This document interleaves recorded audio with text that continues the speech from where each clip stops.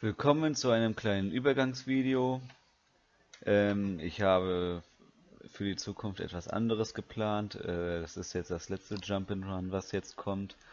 Ähm, und zwar spiele ich jetzt erstmal Ant-Man 2. Es ist ein ziemlich kurzes Spiel. Ich werde es innerhalb von einer Aufnahme durchziehen. Äh, ich habe für die Zukunft ein größeres Projekt geplant und zwar möchte ich äh, auf Medieval 2 umsteigen. Das werden dann auch dementsprechend längere Folgen, weil Medieval 2 ist einfach äh, ein viel größeres Game. Medieval 2 Total War. Äh, Leuten, die die Total War Reihe etwas sagt, weiß, dass äh, so ein Total War Projekt ziemlich lange dauern kann. Und zwar werde ich äh, die mit der Mod Europa Barbaro äh, voll Fastfood. Europa Barbarorum 2 anfangen und immer weiter mit den Mods äh, verschiedene Mods zeigen. äh, nicht nur zeigen, sondern auch äh, Let's Playen. Ich werde die Mods bis zur mindestens bis zur Victory Condition spielen. Das heißt, man wählt sich ein Land aus und das muss dann bestimmte Dinge machen, zum Beispiel nehme folgende Siedlung ein und lösche Volk X aus. Entweder mache ich das einfach nur oder ich werde mich bemühen, die ganze Welt mit dem jeweiligen Volk dann einzunehmen. Geplant habe ich mit äh, bei Europa Barbarum mit einem germanischen Volk zu spielen. Einfach äh, weil es meiner Meinung nach passend ist, als Deutscher seine eigenen Vorfahren zu spielen. Hm. Davon abgesehen. ja. Ich halte es einfach nur für passend so das war's zu meinen Plänen für die Zukunft, für diesen Kanal. Dann rede ich jetzt ein bisschen über Ant-Man. Äh, äh, rausgekommen ist es 1997 in Korea.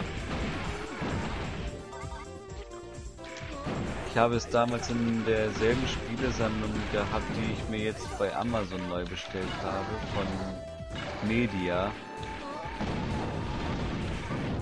Äh, wie, wie, ich bereits am Anfang gesagt habe, es ist ein sehr kurzes Spiel. Aber der Content, der in dieses Spiel delivered ist, einfach nur großartig. Das war jetzt der erste Bossgegner, das war kein Problem. So, wir gehen durch die Gondola. Einfach nur, weil ich das Lied hier so geil finde. Und weil ich die Gondola schon öfter gespielt habe als das Lager. Der Weg äh, soll auch schwerer sein. Ich finde das jetzt nicht wirklich. Man muss halt nur richtig das Level richtig spielen. So, hier haben wir ein Herz, das möchte ich noch nicht einsammeln. Jetzt müssen wir hier auf den Aufzug warten. Äh, der Grund ist, wie ich bereits gesagt habe, man muss das Level nur richtig spielen. Es ist gar nicht so schwer. Es wird nur nachher nervig, weil ich ständig runterfallen werde, beziehungsweise runterspringen werde, um an die Herzen zu kommen. Das lasse ich jetzt zum Beispiel auch noch übrig, weil ich möchte das erst einsammeln, wenn ich es wirklich nötig habe. Ich habe noch drei Hitpoints, man hat fünf maximal und für zwei Hitpoints ein ganzes Herz verschwenden ist schlechtes Ressourcenmanagement. Genauso wie ich die Waffe hier liegen lasse. Weil es kommt schon vor, dass ich, dass ich äh, aus Versehen eine Waffe einsammle, die nicht so gut ist. So wie die hier Geschütz schießt, so. Und jetzt, dieses Herz nehme ich, weil jetzt kommt ein Mini-Boss-Ninja. der ein sehr leicht äh, zu vorsehendes Angriffsmuster hat, was ihn zu einem schle schlechten Ninja. Ich mache ihn gerade schlecht und schon pound er mich.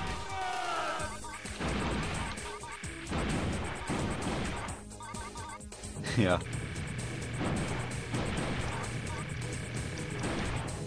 das war jetzt vielleicht peinlich. Es ist so, als würde ich sagen, äh, Marshmallow ist eine schlechte Karte, dann verliere ich den Burn Damage von Marshmallow. So. Haben wir jetzt einen Flammenwerfer. Der ist in dem Fall optimal.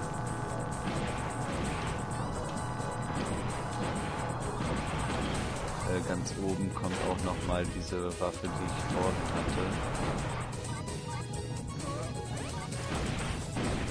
Es ist jetzt nicht so schlimm, dass ich jetzt eine andere Waffe genommen habe.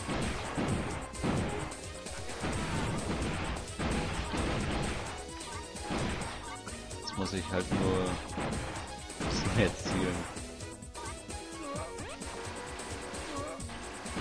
Herz verschwendet, aber es ist egal.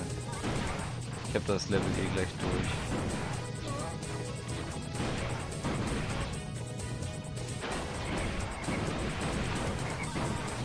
Jetzt kommt noch eine Welle an Froschis. Komisch, dass die Froschgeräusche machen. Die sehen gar nicht aus wie Froschis, die spielen nur so.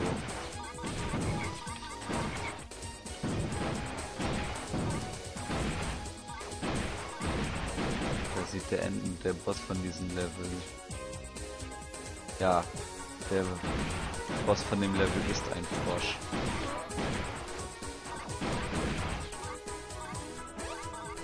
So, dann das letzte Stockwerk.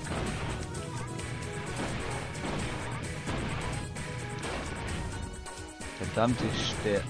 Ich muss erstmal ein Herz sammeln gehen.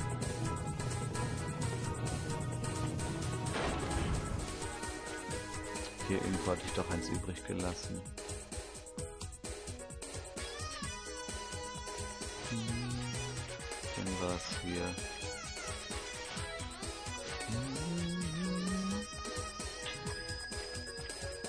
War hier nicht am Anfang noch eins?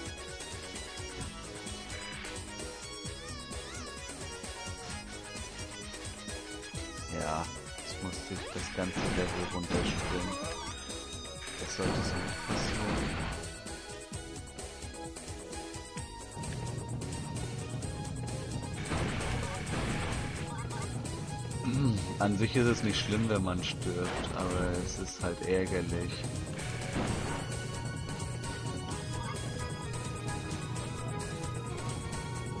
Man hat äh, vier Leben für ein Level Irgendwann gibt es äh, einmalig ein fünftes Leben, das kommt erst im sechsten Level. Und man hat fünf Credits, das heißt extra Versuche. Und bei den extra Versuchen bekommt man immer wieder vier Leben und muss das Level dann mit den vier Leben schaffen.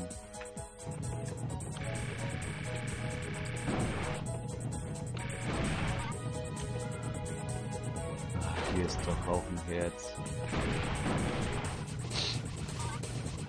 Hätte ich jetzt eigentlich einsammeln können, ist jetzt auch egal. Ist einer der leichtesten Bossgegner von hier. Der Bossgegner von Level 2 ist relativ schwer, aber er hat halt wenig HP. Deshalb habe ich ihn auch in zwei Sekunden besiegt. So, und ich finde es schade, dass der Soundtrack für jedes Level nur einmal abgespielt wird. Das ist, das haben sie nicht als Endlosschleife drin. Heißt, jetzt müssen wir durch das Level ohne jeglichen, ohne jeglichen Hintergrundmusik, ohne jegliche Hintergrundmusik. So. Noch einmal leben und jetzt kommt der Bossgegner. Ein Frosch. Und er springt auf uns drauf. Ich habe doch gesagt, das ist der leichteste Bossgegner hier. Und der hat mir drei Leben abgezogen, aber es ist... Und da wird man schon bei Skype belästigt. So.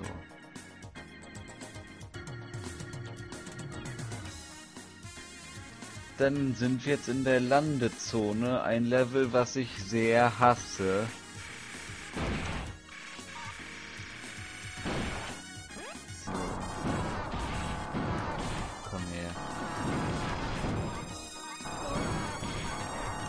Zuletzt wegen diesem Jackie Chan Typen. Oder Bruce Lee.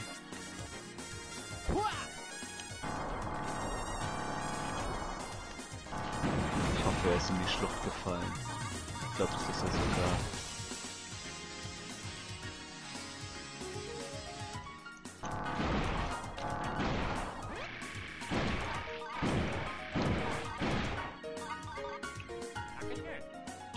Jetzt kommt ein Mini-Boss.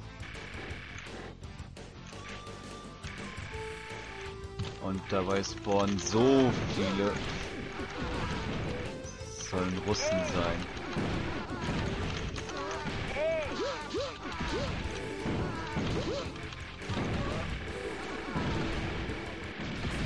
So. Dann wäre das erledigt. Das Problem bei diesem Miniboss sind wirklich nur die ganzen Russen. Dass die einen die ganze Zeit ablenken.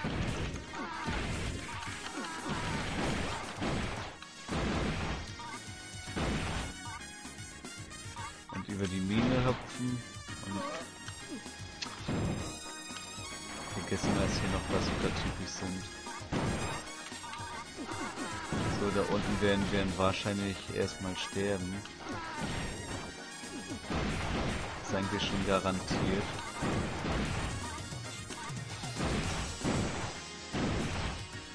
Wenn ich denn schaffe, über die Mine zu springen. Da ist wieder so ein Jackie Chan Typ, der gibt mir ein.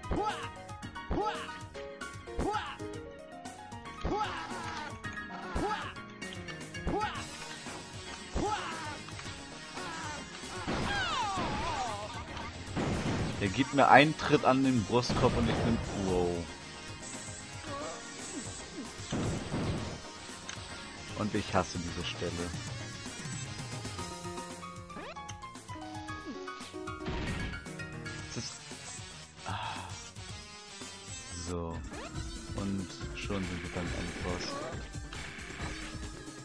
Der ist einer der schwersten von allen.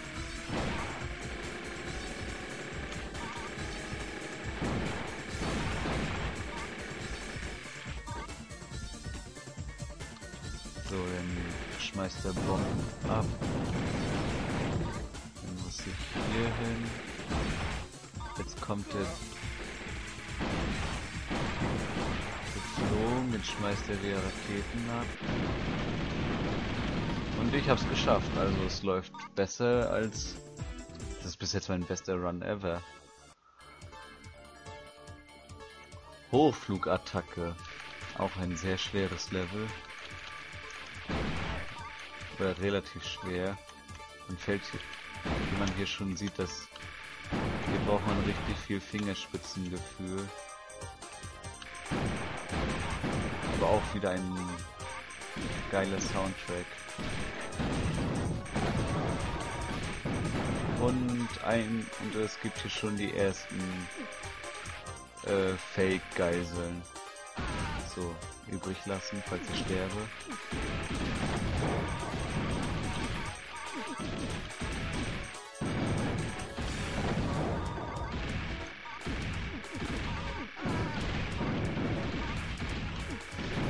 Alles abschießen.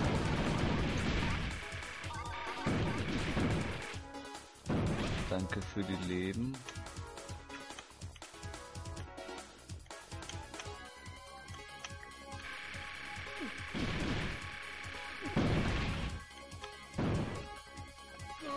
Na, oh, das.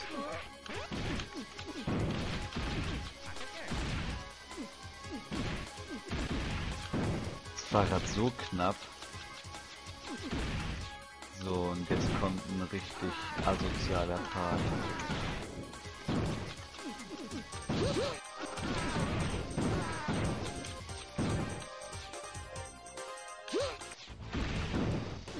Wieder ein Subboss. Der mehr HP hat, als er eigentlich haben sollte. Der ist einfach nur nervig.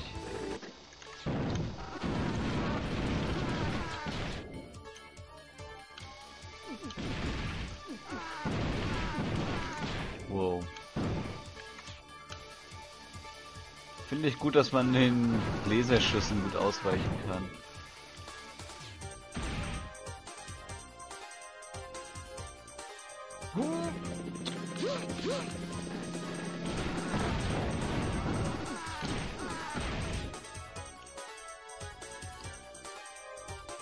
Nein.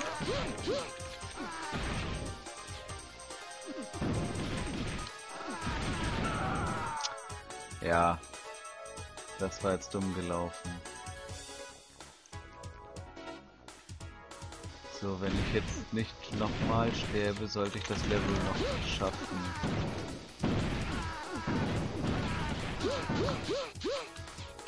Ähm, ich werde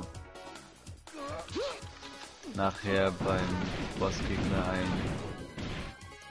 Scheiße. Ja, jetzt werde ich den Bug auf jeden Fall nutzen. Jetzt kommt noch mal ein Mini-Boss.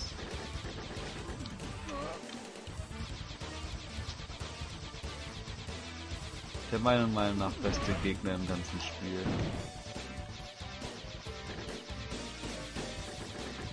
Er hat so viele verschiedene Angriffe. Ah, der fällt sich gerade wie ein Retard.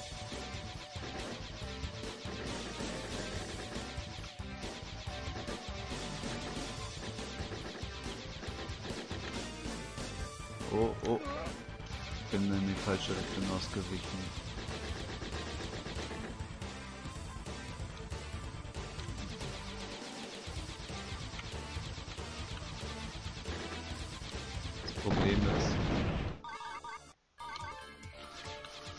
dass ich gerade so langsam schieße. Aber hm. Hat sich jetzt. Ah. Und jetzt darf ich das ganze Level wiederholen. So, dann heißt es jetzt erstmal durchziehen, durchziehen, durchziehen und rüber. Muss ich erstmal ein paar Punkte farmen. Ach ja, ist ja böse.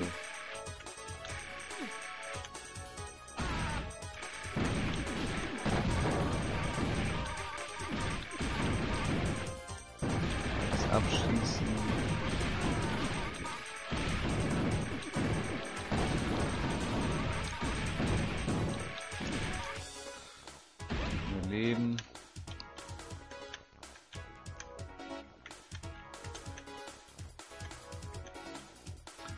Und rüber und weg. Und ihr scheiß Bazooka-Typ seid jetzt alle tot.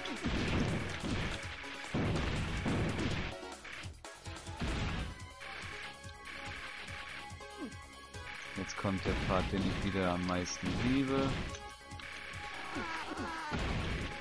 Unendlich spawnende Russen.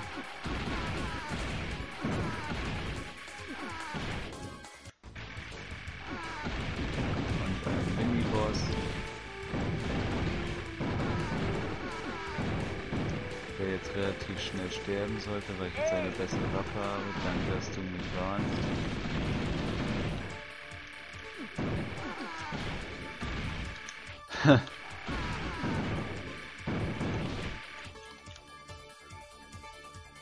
Denn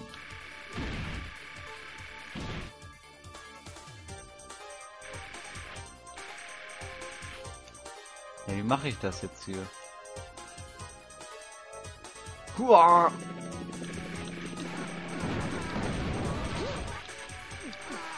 Richtig Stil. Nicht.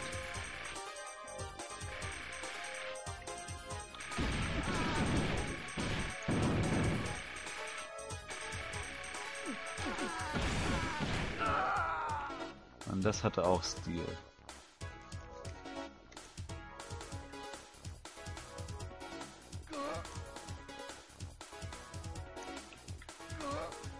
Und das muss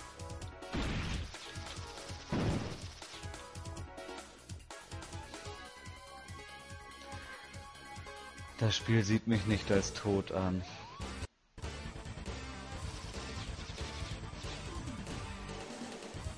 Ähm, ja.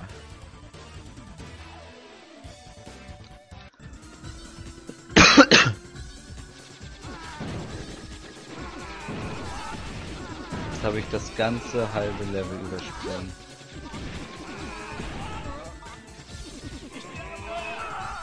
Hä? Der hat gerade gesagt, ich sterbe und er stirbt nicht. Jetzt habe ich die ganzen Gegner vom ganzen Level beim Boss.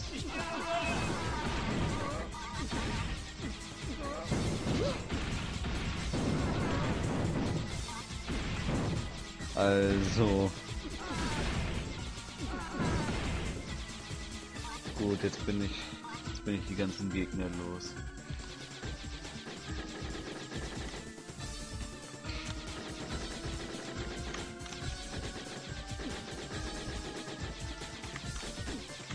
Noch zwei Leben. Heißt doch nicht, dass ich die verwursten soll.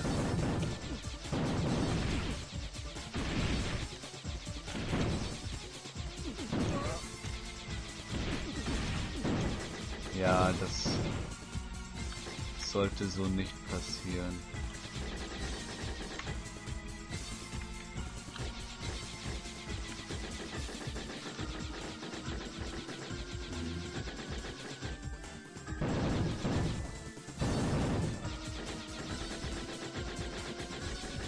Das sollte so nicht passieren. Aber ihr habt ja... Ich habe euch ja schon den grauen Typen gezeigt. Aber es kommt nicht oft vor, dass man unter das Level glitscht, weitergeht und äh, dann sofort beim Boss landet. Das, ja, das soll einem alten Spiel verziehen sein.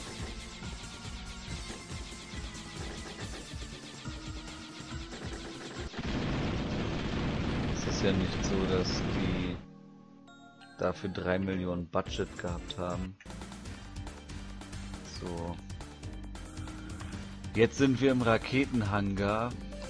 Ein ziemlich leichtes Level meiner Meinung nach. Da ist beim anderen Weg wäre jetzt das Labor. Das ist einer der härtesten Level im Spiel.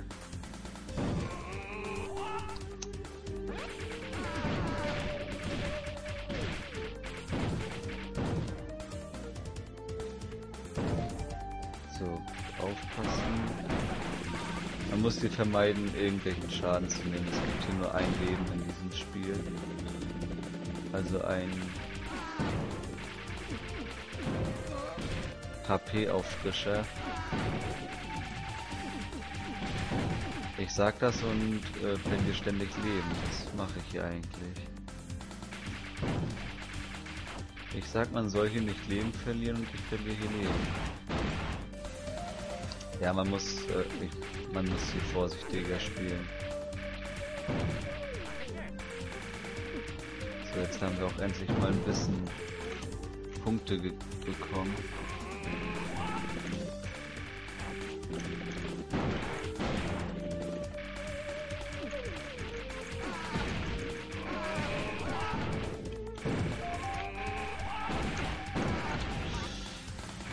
Wir auch schneller und jetzt kommt hier so ein wie bei Donkey Kong.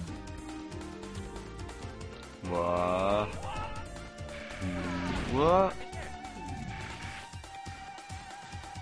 Rollende Fässer. Als ob denen die Ideen ausgegangen sind.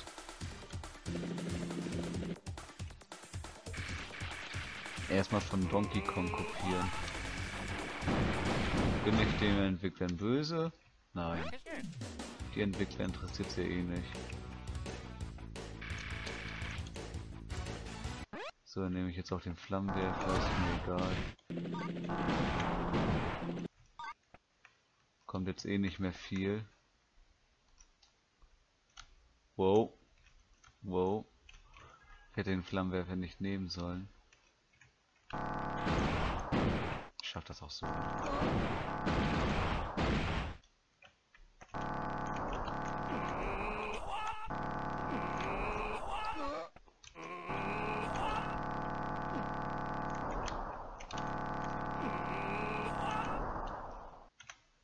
Nein, er ist runter.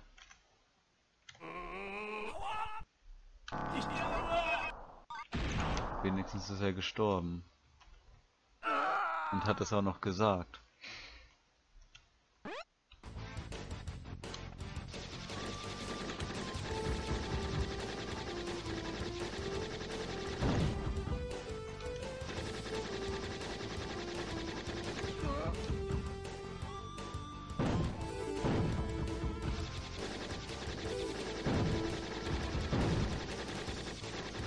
Ich habe in diesem Spiel, in dieser Runde mehr Bugs ausgelöst als sonst. Ja, jetzt hat sich das Spiel fokussiert auf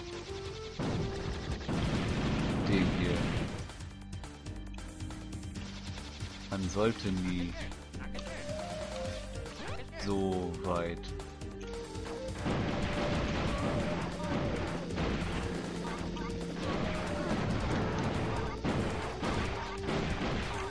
Ja, man sollte innerhalb von einem Bereich bleiben. Und da waren gerade richtig harte Ninjas. Was ist das für ein Bugfest, Alter?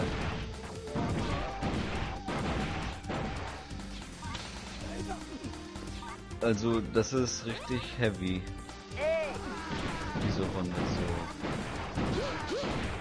Da müssen wir jetzt erstmal uns um die ganzen Geschütze kümmern.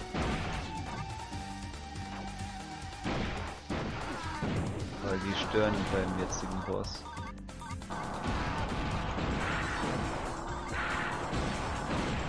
Die Geschütze sind hier der wahre Boss. Wenn man sich genau hier hinstellt, dann springt er immer über einen rüber.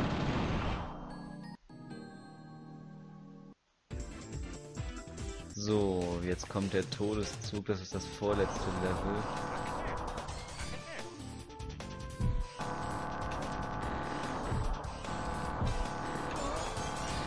Der Typ kommt in dem Spiel am häufigsten vor. Er kommt im ersten Level, er kommt im Lager. Der kommt bei Hochflugattacke. Und der kommt jetzt halt hier nochmal.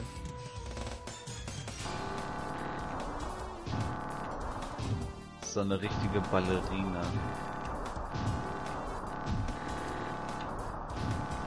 Da soll man nicht springen, das wäre schwer zu treffen.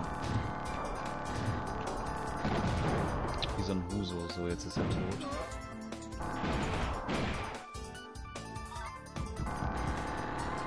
Den hatten wir vorhin gesehen.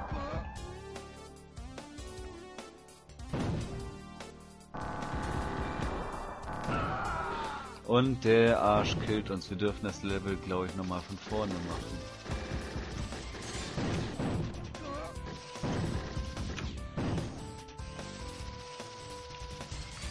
Weil ich weiß auch schon, bei welcher Stelle ich nochmal sterben werde. Weil ich das nie hinkriege. Da nicht zu sterben. Hier nicht. Erstmal das da oben. Das ist viel gefährlicher als der Panther.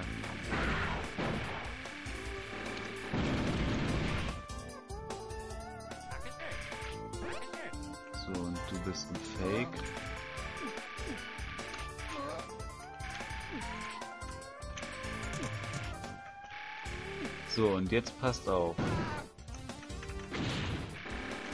Bei dem Boss sterbe ich immer wieder.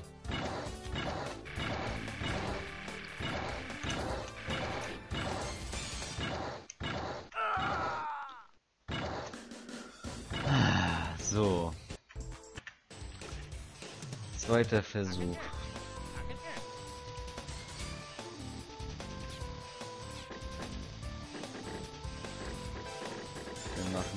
Erstmal so.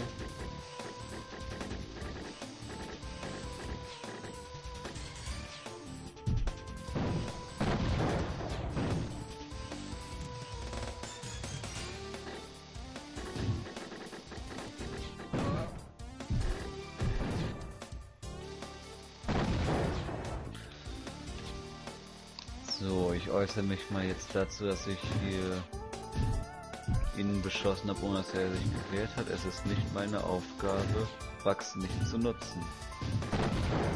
Wenn es mir das Spiel vereinfacht, dann nutze ich sie.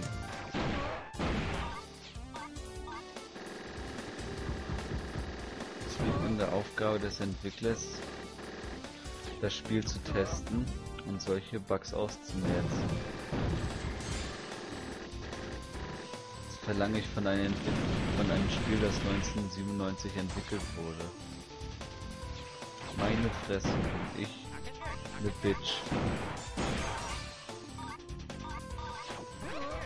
Boah, war das knapp.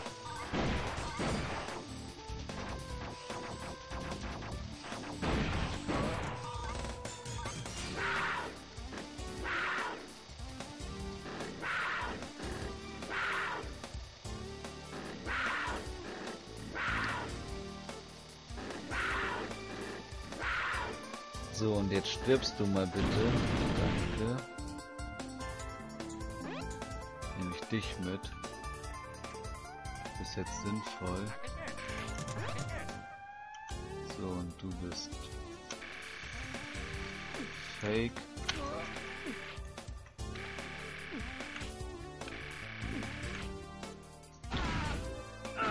Und da werde ich zermatscht. Deswegen sterbe ich hier immer.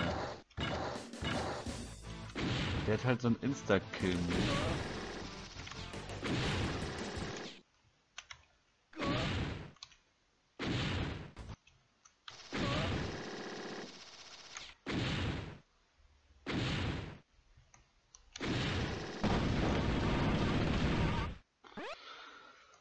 So, das war's denn jetzt aber auch. Jetzt habe ich den für den Frosch den Flammenwerfer. Flammenwerfer ist so ziemlich die schlechteste Waffe für den Frosch.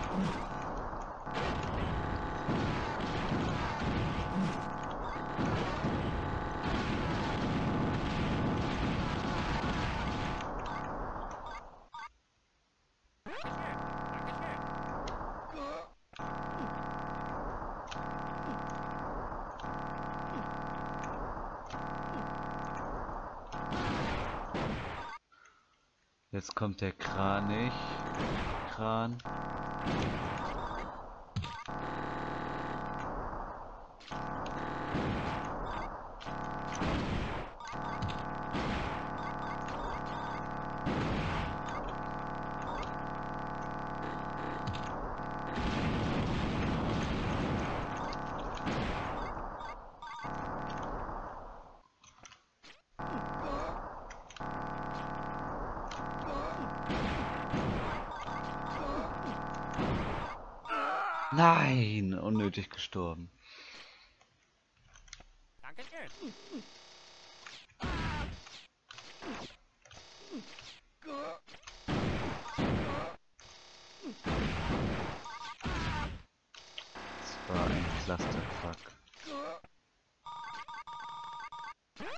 Hast Leben. Ich hatte das verwechselt. Level Final, letztes Level. Es ist besser, wenn man hier stehen bleibt. Sonst macht man sich unnötig schwer.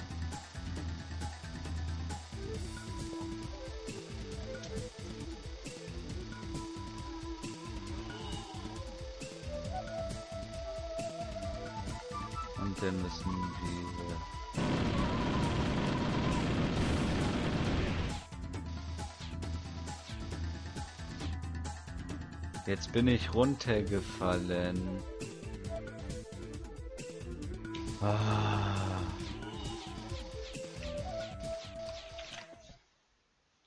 Ja. Ich habe gerade schon wieder einen Bug ausgelöst.